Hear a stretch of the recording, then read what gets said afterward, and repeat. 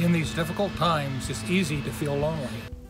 confused, angry, even afraid.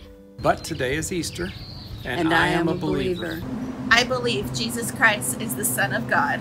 I believe that he lived, He died.